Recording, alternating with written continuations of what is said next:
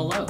Uh, for those of y'all that don't know who I am, my name is Maximilian Bolin, and I'm the summer intern here with 12th Street. And I'm so excited and privileged to be able to continue on our Philippians sermon tonight.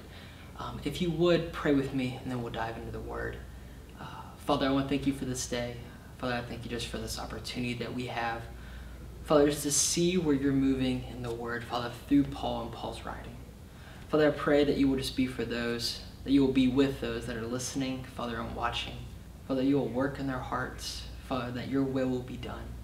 And Father, I pray for myself as I give this message, Father, that you will speak through me. And Father, I pray that you will just continue to have your hand over all things in this manner and others. Father, we thank you, we praise you, and all these things in your Son's name. Amen. It was 48 degrees in Vienna, Austria on October 12th, 2019, just before 8 a.m. Eliud Kipchoge, a Kenyan marathon runner, is getting some last minute stretching in before attempting to go out and make history. A little backstory for the past eight years, Eliud has been trying to perform a feat that was said to be almost humanly impossible. He was going out to break the two hour time mark for a marathon. Now, Eliud is no slouch for runner whatsoever and has been said to be the greatest marathon runner of the modern era. But he wanted more than just the title. Up till this point, Eliud had missed his mark by just over a minute in one race and another by only 25 seconds. Eliud also holds the world record for the fastest time for a sanctioned marathon that he did in 2 hours, 1 minute, and 39 seconds while racing in Berlin in 2018. But that was different. This is different. Eliud states that just days before his run in Vienna that Berlin is running and breaking a world record, but Vienna is running and making history in this world. Quite a statement coming from the Kenyan. At 8.15 a.m., Eliud was off and running. Throughout the race, 40 different pace setters would transition in and out to keep Eliud on track and up to speed, helping their fellow runner achieve the unbelievable. Fast forward through the entire race to the final kilometer, number 41 of 42. Eliud is on target to achieve greatness. On the clock, he is set to beat the two hour mark by a whole 10 seconds. But then he starts to sprint. You can watch the video, and Eliud storms past his pace setters and makes his way to the end at an incredible speed. As he approaches the gate, he begins to point and cheer with the crowd with the biggest smile on his face. And he crosses the line with a time of 1 hour, 59 minutes, and 40 seconds. A superhuman feat by a man who was just a humble farmer, an elder at Kenya. And just like Eliud, we too as Christians have a race set before us that may seem impossible at times. I know for multiple times I've seen it as an impossible feat. But here in Paul's message to the Philippians, he uses an intense running analogy to describe the Christian life, telling us of the pursuit of Jesus. And Paul was writing the Philippians of this pursuit, passionately expressing the consuming desire to know Jesus and that he is still running hard, but also that he still has a ways to go. So if you guys will, we're going to go ahead and open up our Bibles to Philippians 3. We're looking specifically at verses 12 to 16 today. But let's get a little recap on how we have gotten to this place. So, according to Philippians 3 8 to 11, which we talked about last week, we see that Paul has suffered the loss of everything to gain Christ, to be found in him, to know him, and is both his suffering and in his resurrection power. He wanted to know Christ more fully and already put everything to the side for that. But in doing this, had he reached perfection? Absolutely not. But in this passage of Philippians 3 12 to 16, Paul affirms his incompleteness in his journey following Jesus. So now that we have that idea, let, let's read this passage of Scripture together and see what Paul is saying. Verse 12 starts and says, not that I have already obtained this or am already perfect. I pressed on to make it my own because Christ Jesus had made me his own. Brothers, I do not consider that I have made it my own, but one thing I do, forgetting what lies behind and straining forward to what lies ahead. I press on toward the goal for the prize of the upward call of God in Christ Jesus. Let those of us who are mature think this way, and if anything you think otherwise, God will reveal that to you also. Only let us hold true to what is being attained. This is the word of the Lord. So we have what Paul was talking in the past is leading up to this, and he is giving up everything, admitting his imperfectness. And we're going to go ahead and dive into the scripture to see how Paul is pressing on to Jesus in that pursuit of Jesus. So read verse 12 again with me. It says, Not that I have already obtained this or am already perfect, but I press on to make it my own because Christ Jesus made me his own. Now, Paul, a man who has done many wonderful and powerful things for the kingdom in so many different ways, begins off this section of verses by admitting and owning that he has not yet obtained this perfection, this resurrection with God. And we see the connection of making Christianity our own and that Christ has made us our own in this passage. So look at this, uh, this passage with me one more time. It says, Not that I've already obtained this or I'm already perfect, but I press on to make it my own. That is where we see the Christian making this Christian walk his own. And then at the end of the verse, he says, Because Christ Jesus has made me his own. We have the ability to make this Christian walk, this Christian life we have, our own because Christ has already claimed us and made us his own in that. And I love that Paul begins in the most humble manner he could. He comes about this saying, Hey, I'm not perfect. I have fallen in many ways. And I am willing to, right here, saying that I have not obtained this or I'm already perfect. Just letting you know. And we also continue to see as Paul is stressing that he is not already perfect, he is showing us that as a Christian in this world, a fallen world for that, he is still involved in the struggles of this life in this world we have, and he still sins. In the full glory of the resurrection that we have with Jesus in the coming days remains to be in the future. So, what we're going to do as we continue to look through this verse and the following verses, we're going to see how in this time we read, he says, But I press on to make it my own because Christ Jesus has made me his own. We're going to see how Paul is pressing on towards Jesus, how he is looking towards Jesus to have that fulfillment in his life. Now, in the verse at the beginning, it says, Not that I've already obtained this. What is this this? Well, at the beginning, I started with telling us how we got to this point. And the this correlates with that perfectly. Is that Paul was pursuing the knowledge of Christ, his sufferings, his resurrection power, in union with him at our final day. The this is his knowledge of Christ, his living for Christ. He is saying that I am a man who has furthered and pushed the kingdom closer towards God, but I still have a long ways to go, and I'll get to know Christ more in this process. I get to know Jesus more in this.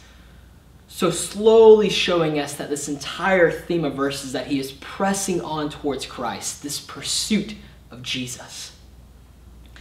And in that verse right there, it says, But I press on to make it my own. That part right there, it says that there is a balance of faith and works of God's call and the believer's response. God calls us to be a follower of Him, and the believer's response is to fully pursue that willingly and openly.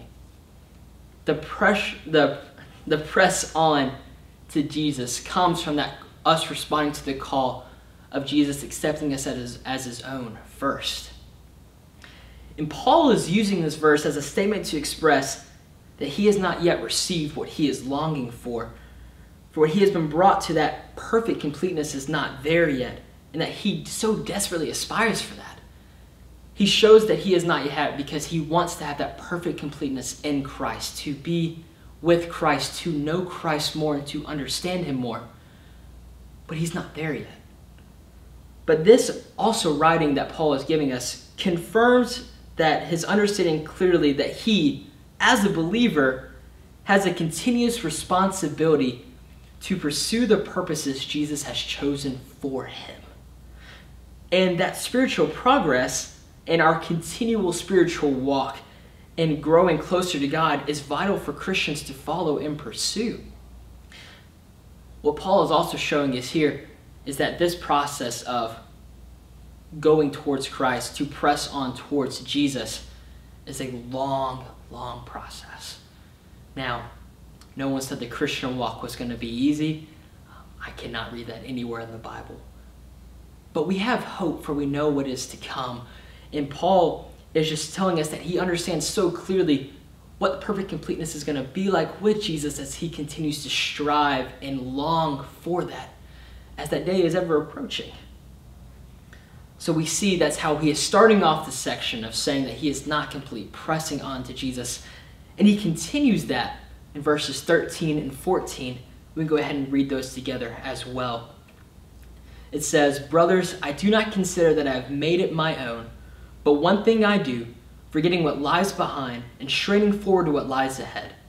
I press on toward the goal for the prize of the upward call of God in Christ Jesus.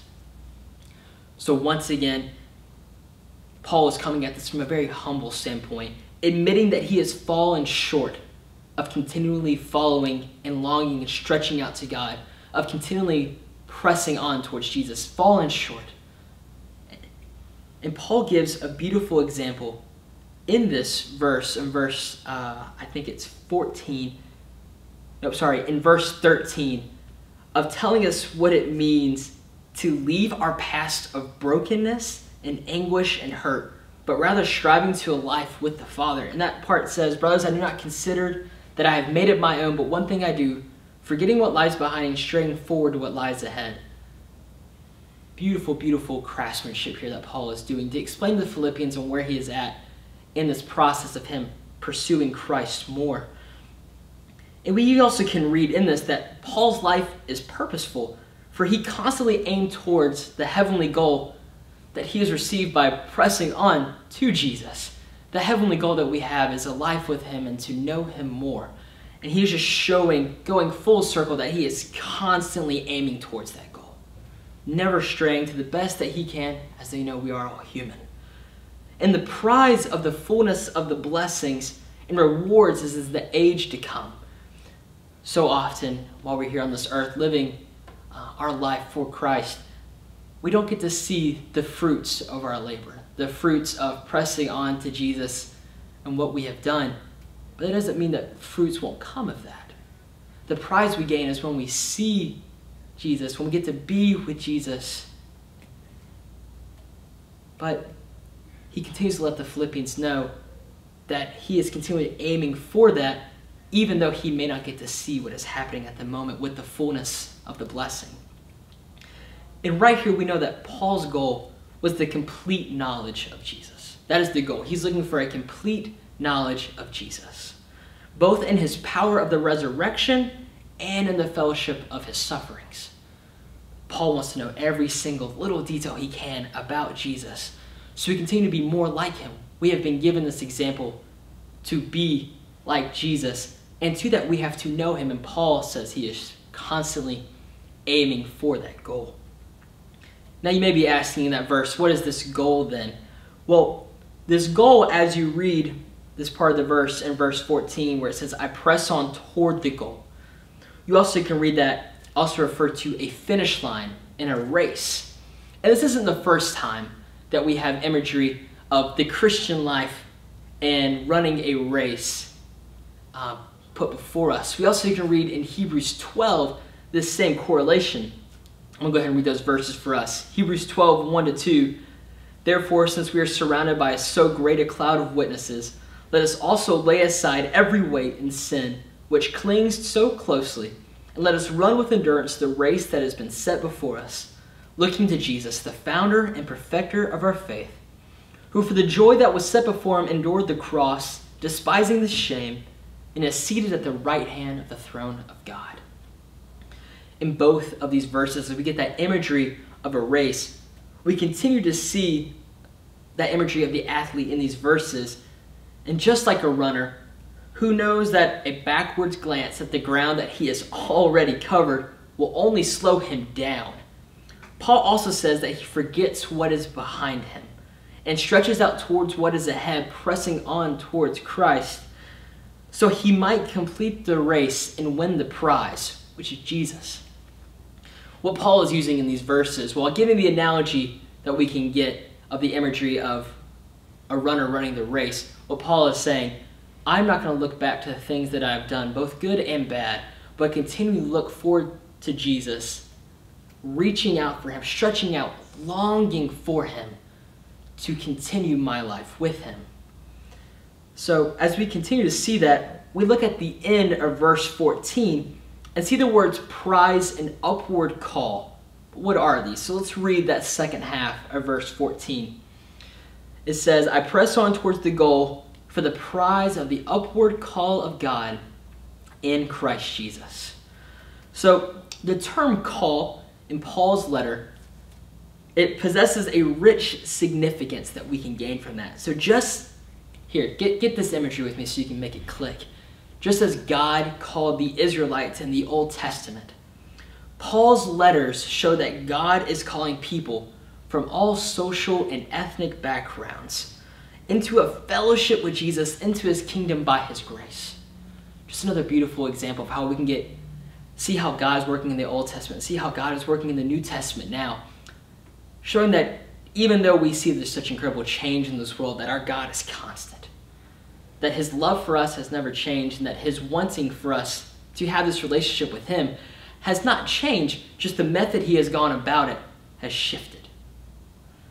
So as we continue down, that being said, from what we have learned from the Old Testament and the New Testament, the heavenly call that Paul is stretching for with all his might is God's call to be a part of a people to be a part of his people, of his beloved children. That's what Paul is really stretching for as he presses on towards Jesus. He's reaching for God. so, when we get that, so we have that identification with Christ. So that part of the people will stand justified on the final day. And that is the prize that we respond to that is laid before us, which is being justified before the eyes of the Father because of the response to the call that we believe and follow as we are a Christian.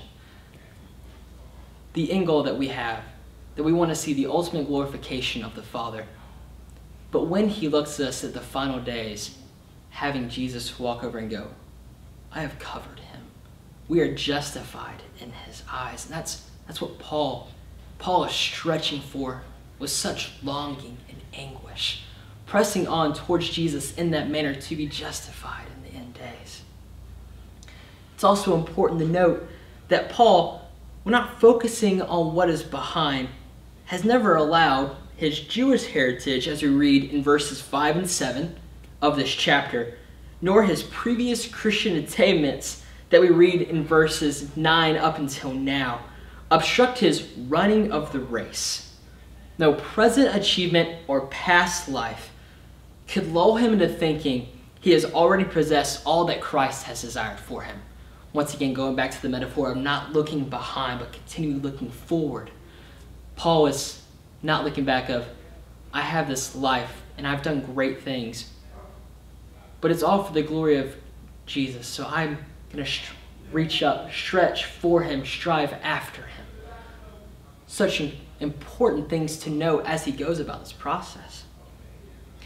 You also can see the beauty in the writings of this uh, verse 14 in both the goal that we read being read as the running of the race and the prize as the glory that follows finishing. So, the goal, we are running this race as believers of Jesus, running this race to Him as fast as we can, striving, yearning after Him and all that He can give us. And the prize we get is knowing Him more, loving Him more, and being known by Him and being justified by Him.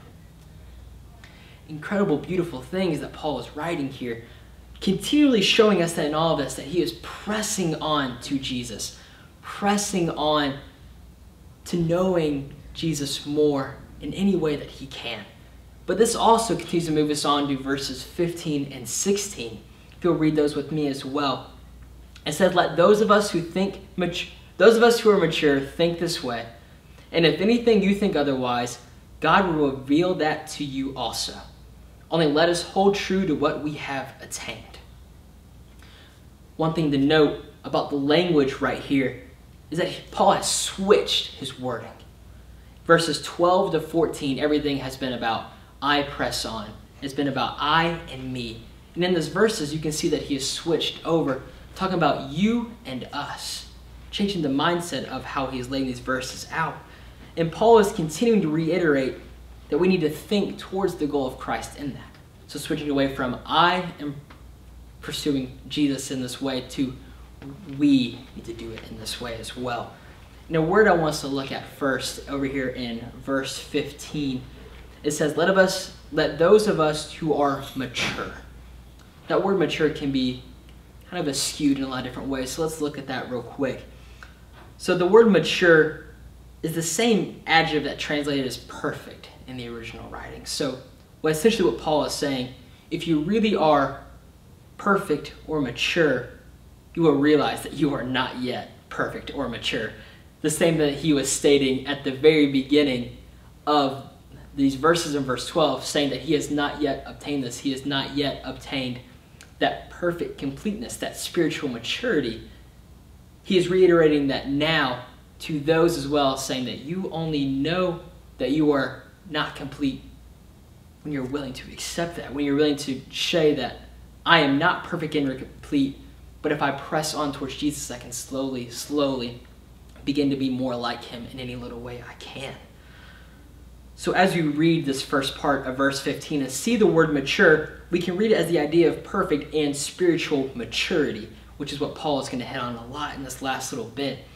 This is important to understand because the concept of perfect spiritual maturity is the matter of refusing to focus on the spiritual accomplishments of the past realizing how much effort is still needed for what lies ahead. Once again, that's what Paul is going back to saying, I do not look back to the things that I have done, but look as continuing at the Father as he did here in verse 13. Reiterating that more of having that perfect spiritual maturity is not holding on to the past, but looking towards Jesus for what is to come. And that is also where we get the explanation of the, the phrase this way that we're able to get in that verse, where it says, Let those of us who are mature think this way. This way, Paul is repeating, is telling the people of Philippi to forget what is behind them and to look ahead where they have to go. Having that spiritual maturity lets you continue to move on towards Jesus, pressing on towards Jesus. And this also leads us to verse 16, which is Paul's only request that we have in the scripture right here. And that first part of the verse says, Only let us hold true to what we have attained. Only let us hold true to what we have attained. And what he is saying here is that he asked the believers of Philippi should not turn back from the progress they have already made in living their lives worthy of the gospel. So uh, make sure this gets across. Paul isn't saying leave behind everything and continue to move on. No, the Lord has given us temptations and trials to build us up and make us closer to Him, make us more mature and complete in Him. So Paul is not saying throw it to side and say you're building off that, but you're not solely leaning on. You're realizing it's there, but you're not sitting there looking down going, I did that back there, I'm good, right? No, it's a this happened, this has grown me, but I'm still pressing on towards Jesus. So, so great that he set that as his only command to the, the Philippians at the moment. And then as we read throughout the book of Philippians up until this point, God has begun a good work in them, undoubtedly. And that many of these qualities that the Lord has given them are evident, and that Paul wants, doesn't want the slight deviations from the truth that may be present to destroy the progress they've made. He doesn't want them to think on the things that they have done and let them just sit on it and go, I've done enough. No, he wants you to realize that's there, but continue to press on to Jesus while you can. And that also Paul is also saying that no one has to wait for God to reveal the truth on all points before he brings himself to spiritual growth. Paul recognizes that Christians, though on the same path of pursuing Jesus, are at different stages of spiritual maturity and that should be faithful to as much of God's truth as they can understand. Paul is not saying this is a one way thing to do it. No, he realizes that we are all at different stages in this walk that we have with Jesus. But the end goal is always the same. Just continually saying, press on to Jesus. Even in that time whether or not you have a clear understanding of what's happening or he has not fully enlightened you to what is going on, press on to Jesus in that time, either way.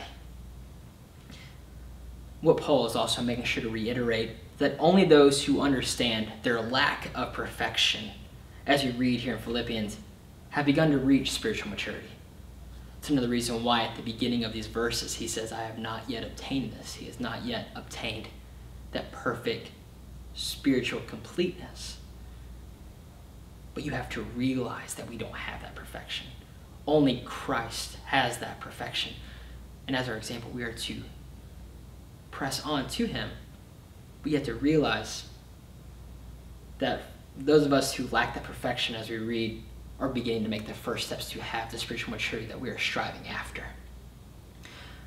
But this in of itself this walk with Jesus is a lifelong process.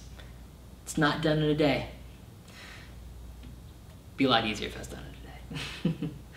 but Paul makes sure that to make his point known that how we press on to Jesus, how we go about this process. He wants to show us to leave the things behind and press to Jesus in all that we can. And even the times of trouble and the times where it feels like you can never get there, showing us that even in those moments, specifically those moments, that we're to lean on Him more. And just like Eliud, that we talked about the very beginning, the marathon runner, that we talked about, having a large group of pace setters to help keep them on the right track. We too have the word and example of Jesus, as well as those the Lord has put around us. Having that spiritual community does nothing but boost us up does nothing but make our relationship with Jesus strong, for we have those that are going about this life with us as well. And being surrounded by a strong group of Christians, or even just one, it makes all of the difference in the world. In your own personal goal of living a life that glorifies the Father. having that community, being willing to go out and be vulnerable with others, and together press on to Jesus in any way that we can. So, my challenge to you is that will, you will use what God has placed before you and around you to press on to Jesus more. How can you take this time that we are in? Take this time of complete and utter change and so many things that are drastically just kind of going crazy around the world. How can you use that to press on to Jesus more? How can you use that to rely on Him more? How can you use that to realize that in our life of trying to get this spiritual maturity, that we have a long way to go, but we have this beautiful example of Jesus to follow? Will you do that? Will you pursue Him in that way? Press on to Jesus in any way that you can, all the time and every time. Will you pray with me? Father, I want to thank you for this day. Father, again, I thank you for this time we've been able to have just to dive into your word and learn what it means to press on to Jesus more. I learned what it means, Father, just to grow in spiritual maturity, Father, for you and the glory of your kingdom. Father, I pray for those that are listening and watching, Father, you will just do a good work in them.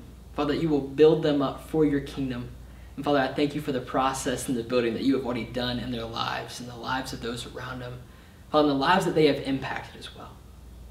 Father, again, we thank you for this time that we've been able to have, the blessing just to have. And Father, we pray all these things in your Son's precious holy name.